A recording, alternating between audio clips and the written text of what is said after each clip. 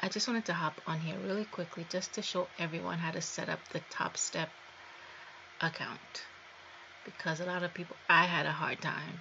A lot of people are ha having a hard time as well. So this is my practice account. I'm going to demonstrate with my practice account.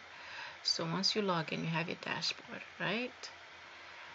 And this is the crucial part that they don't tell you about is right here. You scroll down right here you have the parameters for your account. I don't want to scroll down too low because I don't want to show my credentials, but it's right here.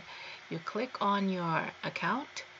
On the little info button right here, you have your credentials. So you don't have to wait for them to email you anything. I was sitting here filling my thumbs, waiting for the credentials when I had to just kind of look around and I found it right here. So I'm sharing this part with you.